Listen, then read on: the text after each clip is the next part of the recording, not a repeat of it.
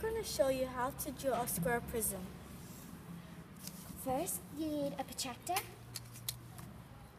a ruler, a rubber, and a pencil.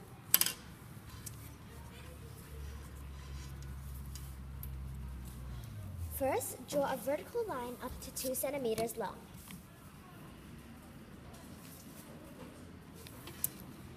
Draw a horizontal line up to 2 centimeters long, starting from either points of your first line.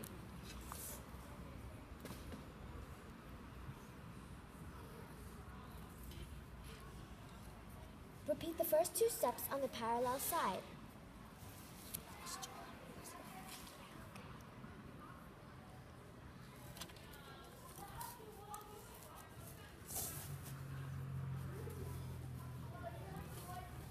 Now you have drawn your first face, which is a square.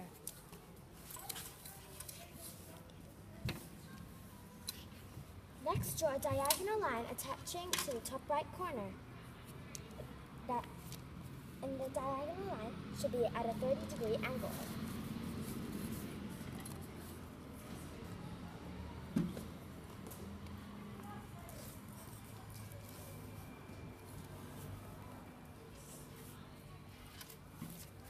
Then draw identical lines on the other three vertices.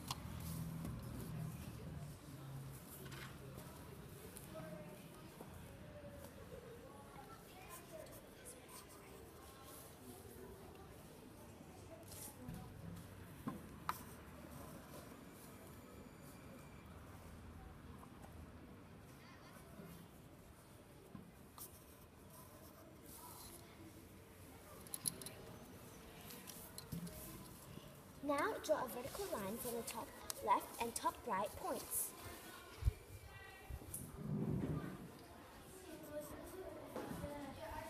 Repeat the previous step, but instead connect the bottom points to create your second rectangle.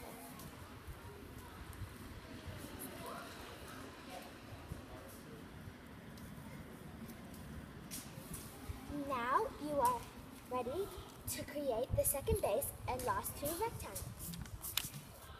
Last, draw, draw a vertical line on both sides and at, at end points.